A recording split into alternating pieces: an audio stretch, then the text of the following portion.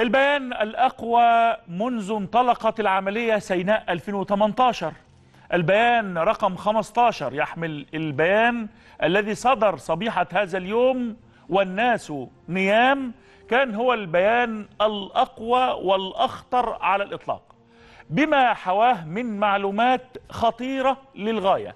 توصف المعلومات والأرقام ونوعيات العمليات التي جرت خلال الساعات القليلة الماضية ما يؤكد خطورة الموقف الذي كان وما يؤكد أيضا هذه الإنجازات الهائلة التي تقوم بها القوات المسلحة على الأرض في سيناء.